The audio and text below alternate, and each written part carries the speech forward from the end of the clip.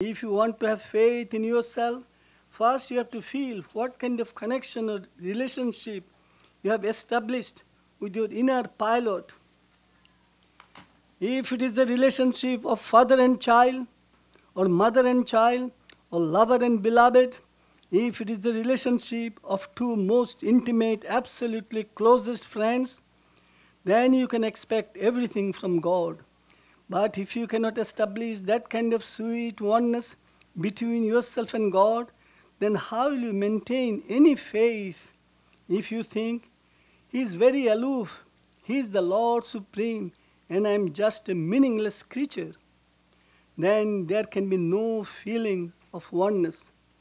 If you think of yourself as a tiny ant and God is a huge elephant, naturally you will say, Oh, how can I have any strength or capacity?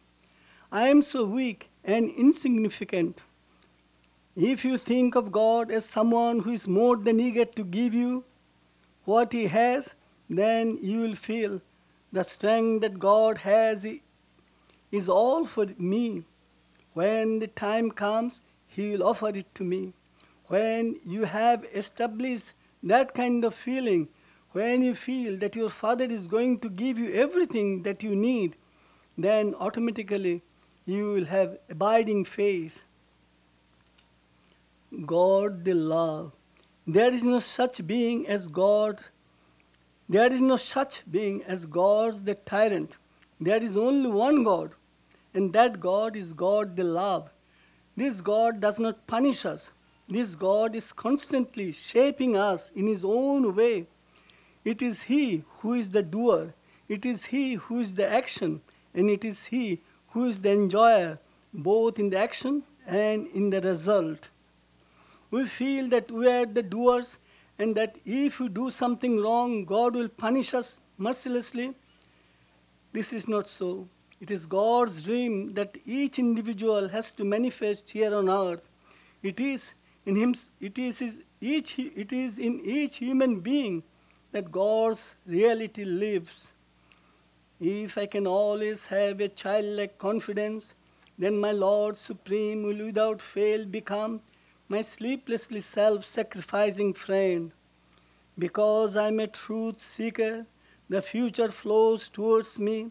Because I'm a God lover, I live in the eternal now. The power of love. Love is a pure and radiant flame. When we follow the path of love, we find our spiritual life, our inner life, most fulfilling. Nothing can be greater than love. Love is life, and life itself is spontaneous nectar and delight.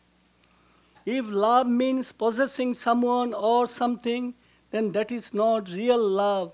That is not pure love. If love means giving and becoming one with everything, with humanity and divinity, then that is real love. Real love is our total oneness with the object loved and with the possessor of love. Who is the possessor of love? God. Whom are you loving? We are loving the supreme in each individual. We love, when we love the body, we bind ourselves. When we love the soul, we free ourselves. It is the soul in the individual, the supreme in each human being that we have to love.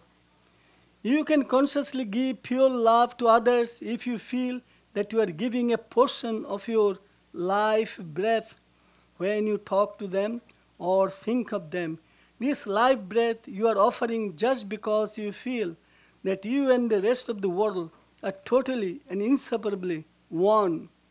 Where, where there is oneness, it is all pure love. When the power of love replaces the love of power, man will have a new name, God.